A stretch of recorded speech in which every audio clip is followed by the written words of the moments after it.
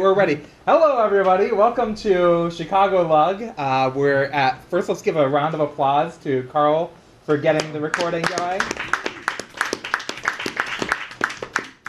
Uh, so we are here to talk about 8sync, uh, and uh, 8sync is a network library I've been working on top of, on top of GNU Guile. Uh, it is a um, built on top of the actor model, which is one way of doing concurrent programming. Um, and in fact, if you go to Yeah. the 8sync homepage, which is at gnu.org slash software slash 8sync, you can, uh, it has this little snippet of code, and it has real running code. In this amount of code, you can write a real IRC bot. Um, Huh. and uh, and that's it. And most of this is actually about it switching between different things. You know, so here it's saying when I get an action that says bot snack, it says yay, I do a dance, and etc. So um, there is a monitor being rotated in front of me, so maybe I should make Uh, sure just that. keep going. Okay. All right. So anyway, um, but that's just one actor, right? This is just one IRC bot actor. What would be more fun would be having a lot of actors running around. So uh, I ran, was participated in something called the Lisp Game Jam, which is a uh, um, a game programming contest, uh, and uh, and I built a MUD on top of 8sync, which is a multi-user dungeon. Who here has ever played a text adventure or a MUD type thing? Raise your hand. Okay, actually, good chunk of the room has done that type of thing. But if, in case you haven't, What's the Uh, URL? the URL. So I'm gonna let everybody connect to it in a second. So you can connect if you want. You can pull out your laptop. Now, before you connect, I'm gonna say, if uh, sometimes when we do these types of things, like it's people start like saying sexist or racist bullshit or like a bunch of other stuff like that. If you're gonna do that kind of stuff, just don't connect since it will be recorded. But if you're not gonna do that type of stuff, you can connect by going to dustycloud.org, uh, 8888, assuming I remember to turn on. Yep, there we go. Um, so we should see people connect. There we go. A bunch of people are connecting. Um, so it's dustycloud.org colon 8888. Yes. Oh, somebody already figured out how to talk. So you can talk like this. You can either do say foo, or you can do um, d- double quotes or single quotes, space, and then, you know, hi, everybody. And at this point, we're kind of have like a multiplayer chat room. Um, hooray! So if you type look, uh, oh, somebody already figured out how to ring the bell. So yeah, somebody ring the bell, and uh, a, a uniformed woman rushes into the room. She's wearing a badge that says desk clerk. So I should give the context of what's happening here. We are in a hotel lobby. That is the state of the game. It's called Hotel Bric-a-Brac, uh, and there's a bell that says ring bell, uh, terrible music, etc. Um, and uh, um, and somebody has already rung the bell, summoning the clerk. Um, so what do we do? Uh, we can ask the yeah, so if I can chat with Clerk, Ava's already done this, so she's kind of cheating. Um, so, um, you know, it says, so if you need help with anything, you can ask about it. So I want to change my name, so I can do ask Clerk about changing name.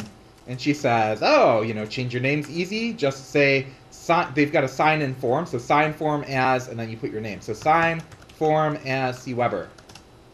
And now I'm known as C. Webber. Let's look in the room. We've still got a lot of guest dash whatevers. You can sign the form and switch. What port? Uh, dustycloud.org colon 8888. You can also do forward slash me or emote to do something. Emote does a dance. Yes, exactly. So, if we look in the room, we'll see um, some other stuff around. Uh, there is a sign, so I could read the sign, for example, and it says Hotel Bric-a-Brac and smudge tasty text. I can also, uh, um, there says that there is a curio cabinet here, so if I look at cabinet, it says, oh, something catches your eye. A telephone shaped like an orange cartoon cat." Look at cat. Oh, look at phone. It's made out of cheap plastic. It's orange and it has a striped tabby with you know smarmy looking face. Somebody probably made a lot of money in the 1990s. Oh, great. Okay, so um, don't solve the puzzle, Bonnie. Bonnie already knows what's going on. So there's also uh, the desk clerk, which uh, the uh, um, yes. So the clerk's complaining about the proprietor having no idea how to run a hotel. Well, anyway, if we type help, we'll see that there's other commands. So for example, um, there's go. So if I do a look, I can see that to the north there's some kind of hallway. So I'm going to go north. And there's already Bonnie here. since Bardi has already kind of uh, had a preview of this game, she knows some of the things that's going on. Um, and you can join me. There's Jim. Um, so in this room, we see kind of uh, um, a bunch of statues around and etc. And there is a statue in the middle of the room called uh, Hackthena. I'm gonna. There's also a hotel map, so I'm gonna read the map.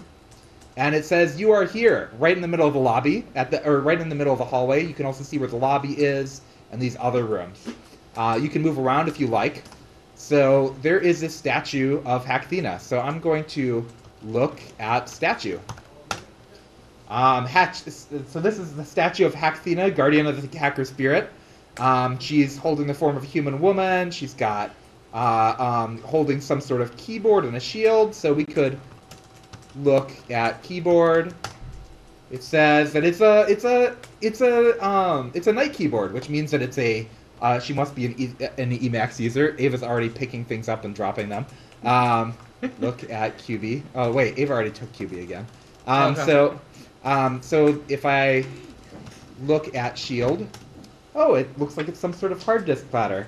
It's kind of loose. So what do you think we would do here? Somebody can guess or just do it. Take the Pick shield. up shield. You take the shield, it a completely separate copy of the disc materializes into our hands and says, "Share the software and you'll be free." Okay, great. So what do we need to do next? So read sign. Yes, and everybody can take a copy of it if they want, since it makes their own individual copy, and you can type in to see what's in your inventory. Um, so read sign. Uh, oops, read map. Um, we could go east or west or whatever. Where should we go? Well, where are What people? room are you in right now? Sorry. We're right north of the lobby. Okay. Oh. So, why don't we, uh, um, why don't we go? Well, there's a fun joke. You can go east, and then there's some, some, there's some like table and chairs and stuff like that, and we can go south again. And uh, oh, somebody must have go south. Dismiss clerk. She will go back. And if we go south of the smoking parlor, You'll see that the hotel desk clerk is here. If somebody goes and rings the bell again, she'll run out of here and freak out. Um, but anyway, yep, there we go. Somebody rang the bell. So anyway, the what I'm trying to demonstrate here is that this is a world of objects.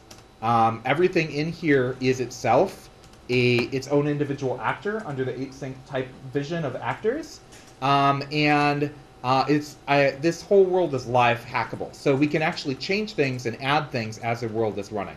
So I'm gonna go. What I'm gonna do is I'm gonna go west of the the main hallway to the playroom. Now there's a few things in here, including uh, a toy chest, which has a tinfoil hat in it. So I'm gonna take hat from chest, wear hat, and it's a lot harder to take me seriously now. But you know, so so one of the nice things about this is that we can actually add things and change the world as it goes. Um, so, for example, uh, toy chest. Uh, what's something that somebody would like as a toy? Like a, The frog. a frog. Okay, we'll just make a simple toy, which is a um, toy frog. So we're going to call this toy or rubber plastic frog. Frog. A plastic frog. Plastic frog and frog. Plastic plastic frog with Cute its eyes. arm with cute eyes. Eyes.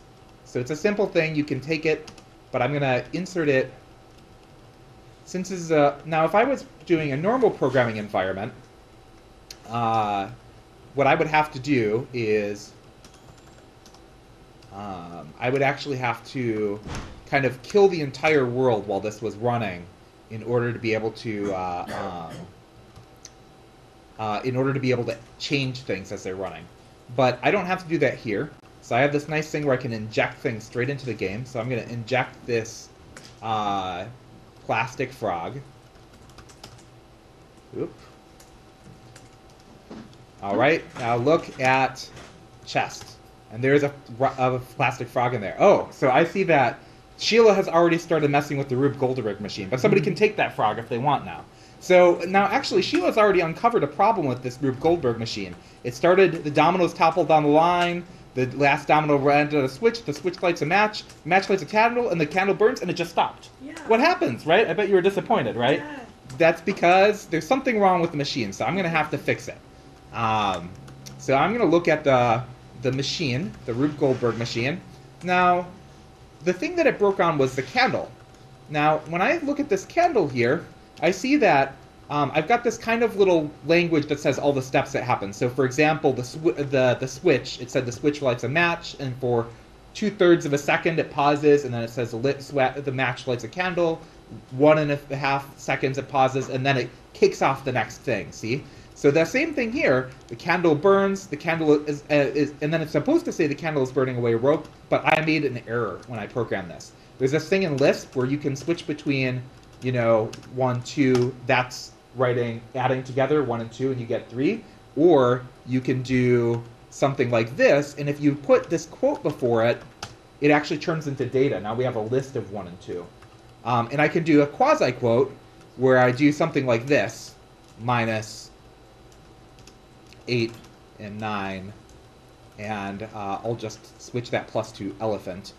Um, and see that thing that I unquoted here actually performed, kind of executed that thing in the middle of it. So it's kind of a mini little listy templating language. And I made a mistake when I programmed this candle where I forgot to unquote this. So it was actually returning a list of slash 2, 3 instead of actually evaluating it and do 2 divided by 3. So I can fix that. Um, I fixed that, and uh, I'm going to inject the um, injecting things is kind of a mudsync, which is a mud thing. It's not actually an 8 sync thing, but you can build these kind of live hacking things on top of there. So I'm going to inject the fixed version of the candle right into the game while it's running.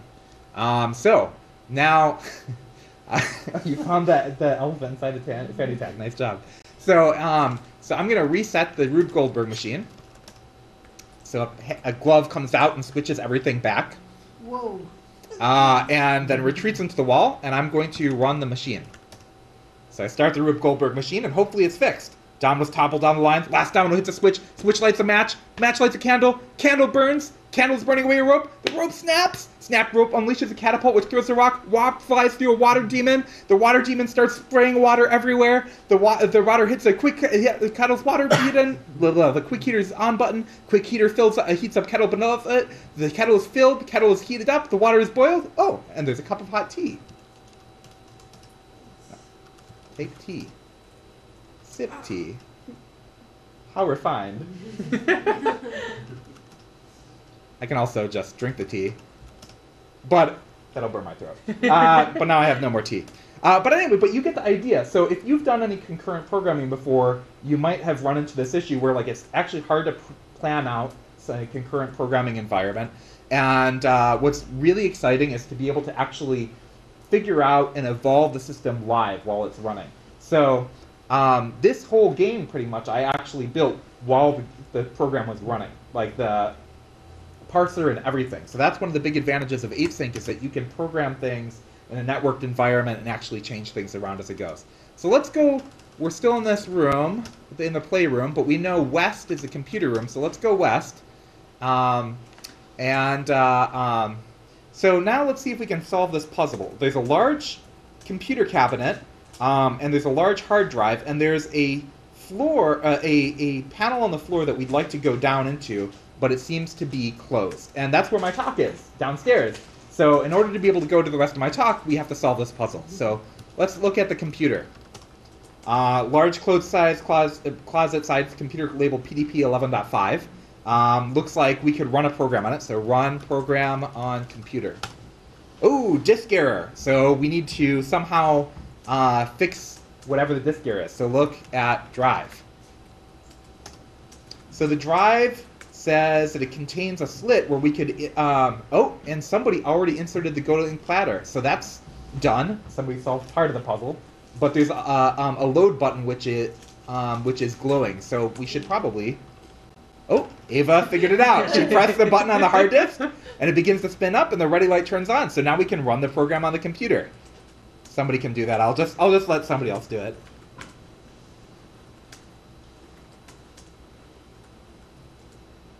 There we go. Ava runs the program on the computer. You hear gears grind, and a metal platter on the uh, platter on the gr- uh, um, panel on the ground opens and reveals a stairwell going down. Hooray! Nice job. So let's go down. so here's where the main talk is. We're in an underground laboratory, which is the 8-Sync laboratory. Let's read the map. Oh, nice. A nice ASCII art map here. Uh, so to the north is the 8-Sync hive. We're in some sort of laboratory. To the east of the Federation Station, there's a Guile 8-Sync museum to the w- west. Um, some sort of swamp below. Where should we go? Any votes? Go to the swamp? I didn't finish that. It's uh, it's walled off. Yeah, sorry. That was going to be the best part of the thing. I was going to have frogs in there that you could attack and everything, but I ran out of time. But the other rooms are open, so uh, yeah, you would be able to punch the frogs. It been- No. What, what about that like Yeah. secret looking room on the bottom? Oh, oh, pizza's here. Oh, the secret room. This one here. Yeah. Uh, well, we know, we can get there. In order to do that, we have to go into the Async Museum. But maybe Okay. actually, there's one more thing in this room that we should probably look at before we leave it. There is a sign labeled the 8-Sync Design Goals, and since this is theoretically a talk Yes. about the 8-Sync, we should probably read that sign. So read the sign. So what are the goals of 8-Sync? So A, it's actor-based. So who here knows what the actor model is? Anybody? One kind of.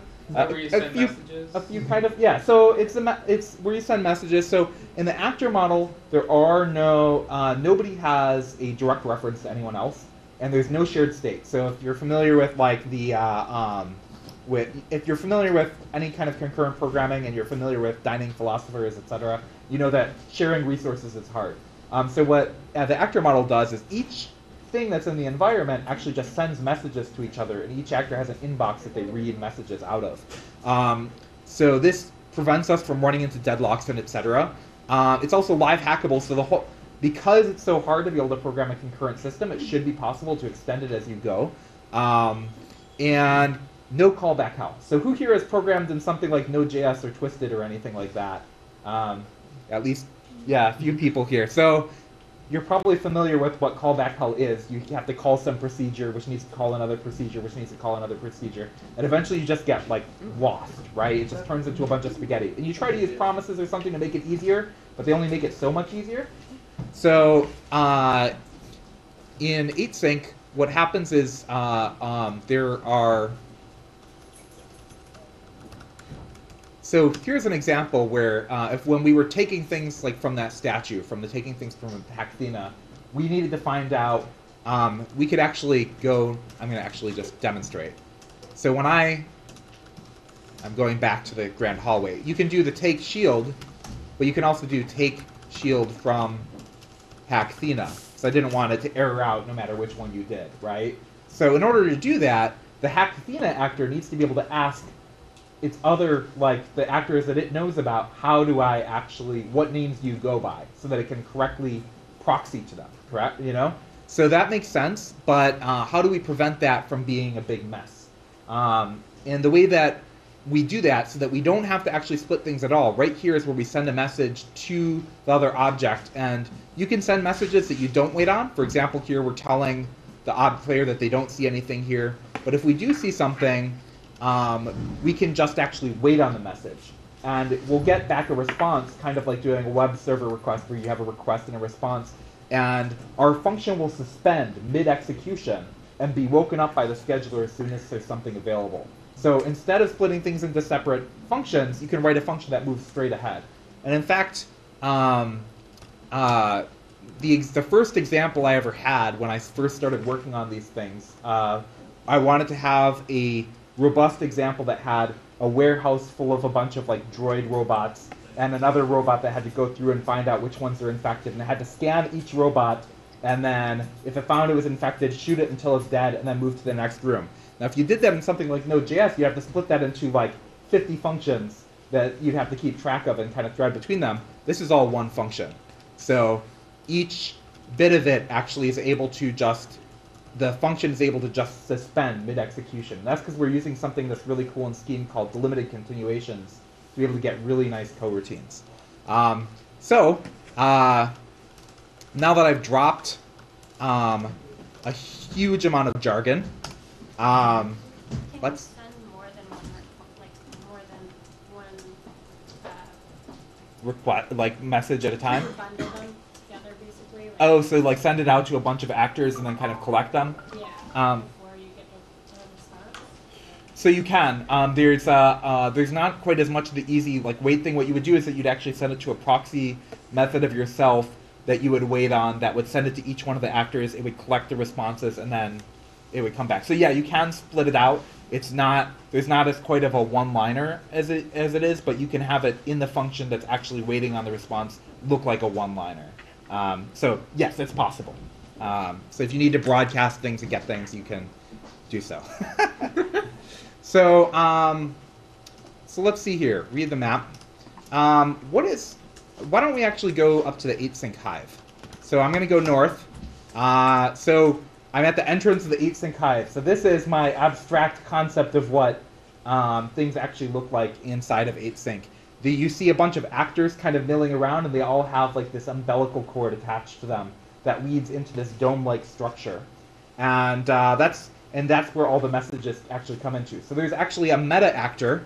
Um, we can chat with actor here, um, and they will like complain about things, about uh, going to sleep and stuff like that. Most of the NPCs you can chat with because I spent way too much time messing around here. Uh, but uh, um, yeah, yeah. So, uh, but anyway, if I look, we can also go north to go inside of the hive, and that's one of the fun things here. Um, so inside of here, um, it actually looks. It says full, so it's obvious that everything's kind of goopy. So one thing about um, this is more significant, I guess, if you are a um, Guile user, but we use the object-oriented system inside of um, Guile that's called Goops. Not everybody really loves it in uh, um, Guile, but I like it because it allows you to actually change and add slots and redefine things without it breaking while the system is running, which I think is important if you want a live hacking environment. Um, now, we, there are some more functional people in the Guile community that are like, oh, you know, it's got too much mutation and stuff like that.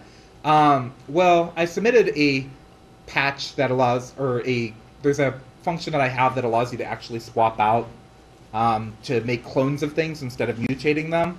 I was originally going to have a room inside of this game where you could walk in there and there would be like it would be like the mutation chamber and you'd see each actor inside of its own little cell. They send messages at each other and each one would mutate and there's like the, this woman in the corner who's like the function of the program and she's like disgusting every time they mutate. It's Like gross. and then like if you chat with her she would like I, I ran out of time for this unfortunately. She'd be like follow the white rabbit to see the answer and you could follow it and then you'd end up in another room that also has actors inside of these like like individual pods. But then instead of mutating, they, they would clone a completely different but altered version of it and throw the old body on top of the garbage collector that would then get thrown down a heat and just disposed. And she, she'd be like, ah, so much more humane. But uh, uh, unfortunately, I ran out of time for that. So anyway, um, so it's possible to do kind of more functional things, replace things, but I don't have it quite in there yet. So inside of this room, we see the the hive actor itself. So if we look at the hive actor, this is kind of a meta actor that actually distributes messages to all the different actors in the game, and it has an umbrella cord sticking to itself. Um, but the the um, but yes. um, so uh, yeah, it'll yell at you if you start talking to it. So um, I hear that fiber system has a nice work sealing system, but the proprietor is not convinced that her design won't corrupt actor state. That and the actor's starting to stripe when it came up last. So right now, 8sync actually will suspend on I/O. So anytime that you would actually be writing something to read or write from a file, it'll automatically suspend it in mid-execution and just be woken back up when there's something available. So you also don't need to split your functions on I/O bound. That automatically happens. Um, but uh, it's possible to split it on CPU bound stuff, but we don't. Uh, but that's actually tricky to avoid corruption and stuff like that. So the more fun thing that's in here is a stray message. Um, so look at message. It's floating above the floor, for some reason. So if I read the message, due to its bizarre error in space-time, the message prints itself out. Okay, so this is actually the message that was sent to the actor asking it to print itself out. Um, so uh, if I read it again, it'll switch out the ID for a new one. Um, so what happens is, uh, um, you notice it incremented the number on this side. So the way this is basically how it works. Each message has its own individual ID. It's sending to some sort of address. You can see that this one has its own actor ID and a Hive ID, and the Hive meta message thing and the player meta message both share the same Hive ID, so they're both part of the same Hive. Um, and you can um, each one has kind of an action, which allows you to kind of specify the method. Um, so that's very similar to methods on any sort of object as you would have in Python or anything. Um, and these are all arguments that are passed into the message handler. Um, so, and this stuff is just all to make that wait stuff automatically happen. So that's that's basically the crux of how the message passing works.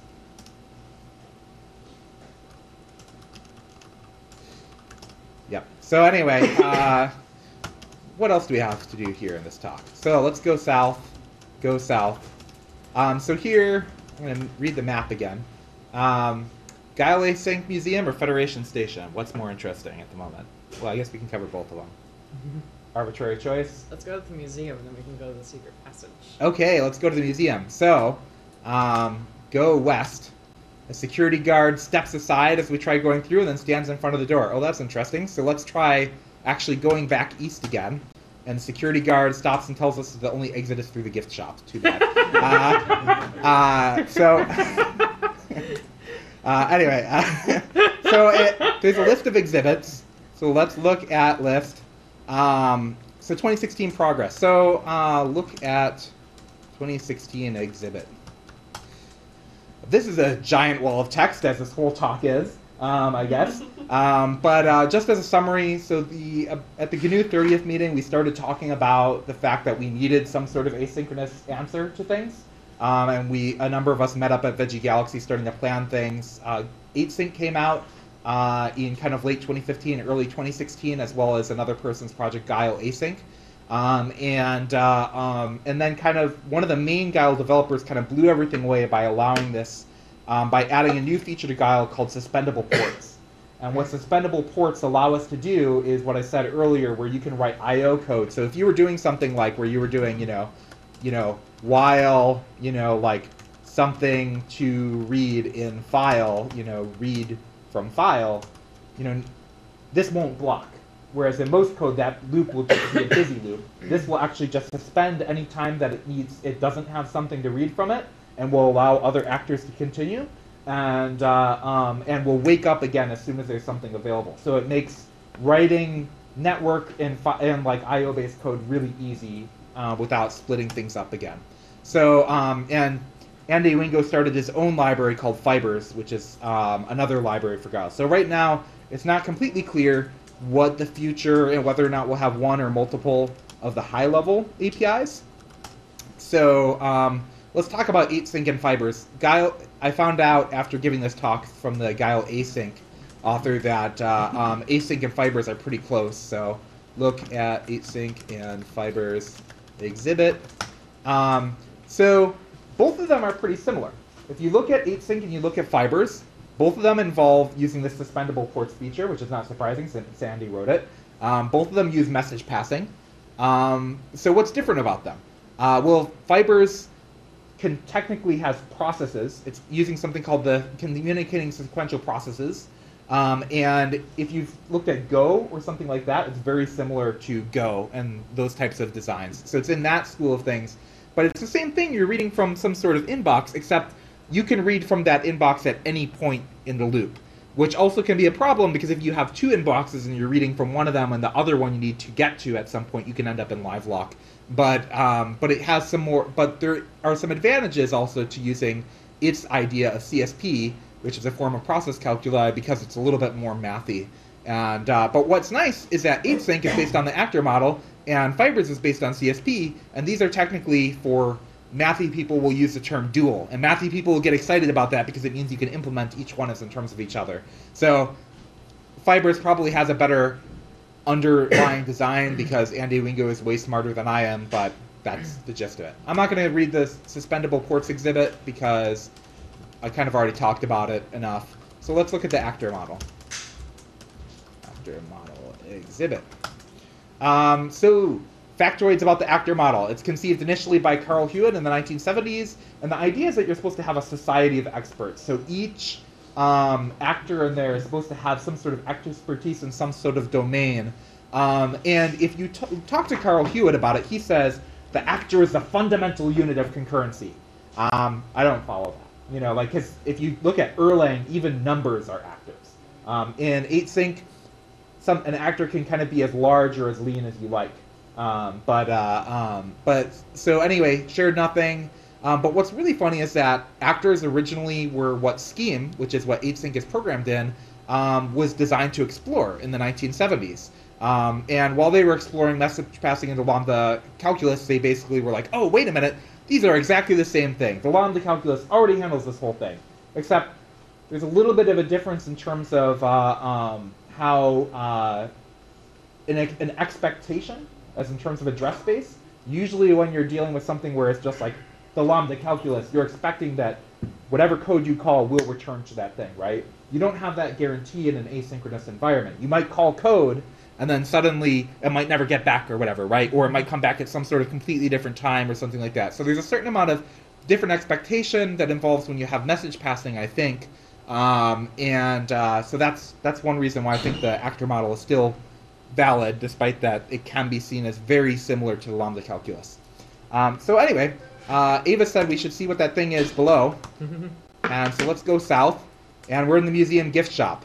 Unfortunately, this is also somewhat of a sla- a a, uh, a um, cop out because I didn't completely finish it. But so everything's just glued to the walls and you can't take it. But in, in an ideal world, you'd be able to punch the frog, get its gold, and come here and buy things. But that's not true.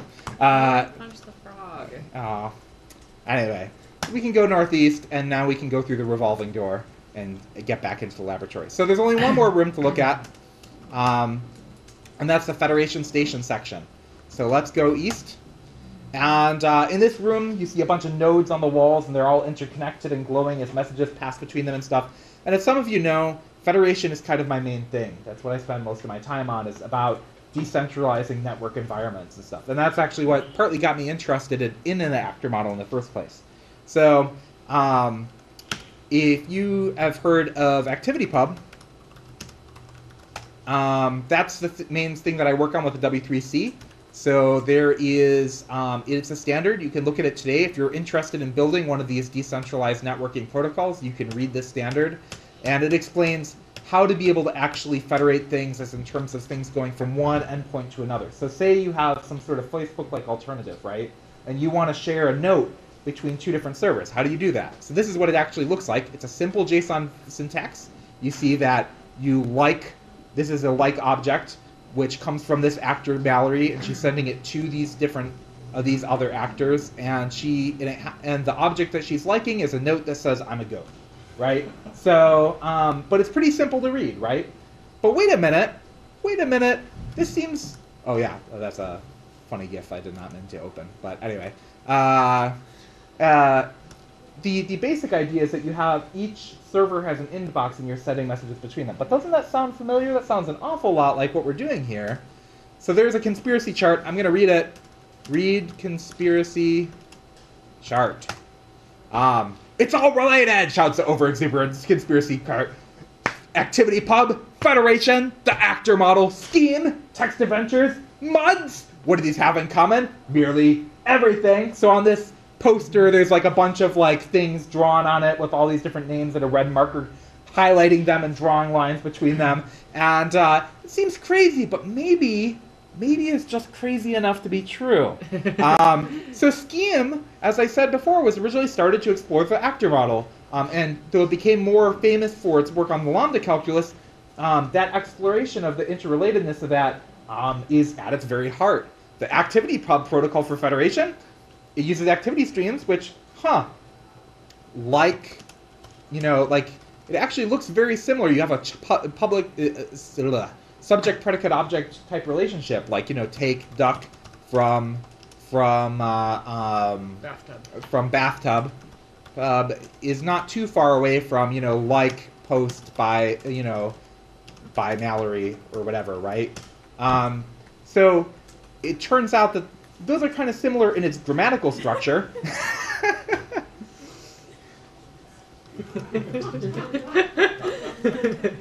uh, so Um, so the federate, so um, but there's also related with Federation and the actor model because both of them involve having nodes that shoot messages between each other. So pretty similar in concept. And Zork, the world's first text adventure, well, actually second if you didn't count adventure, uh, but the first major one uh, is uh, um, used Muddle as its language, which actually looks almost exactly like Scheme. Um, in fact, it's Scheme pretty much with angle brackets, and before it got a little bit more lambda calculusy. Um, and uh, um, so that has some relationship. And before the 1990s, there was actually this vision that we were going to, instead of reading web pages on the internet, we were going to live in a much more cyberpunk future where everybody was like going from room to room and talking with each other and, you know, like, you know, like Neil Gibsoning, you know, fighting each other in some sort of like electronic hallway or something like that, right? And so there, MUDs were actually a major form of research.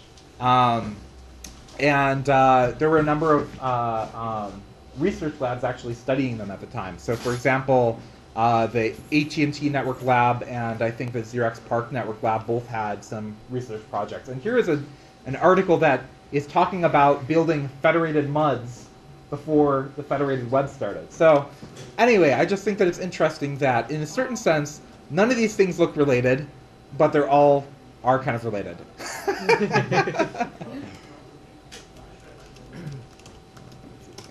so anyway, that's pretty much my talk. The, uh, I hope you got a flavor for how you can build worlds that are alive. Try to make network-based environments that you know can change and be modeled as the world is running. That are easy to kind of thread together, and how in some ways this is kind of related to the various uh, um, decentralized internet things I've been trying to explore. And that's it. Um, uh, thanks, everyone.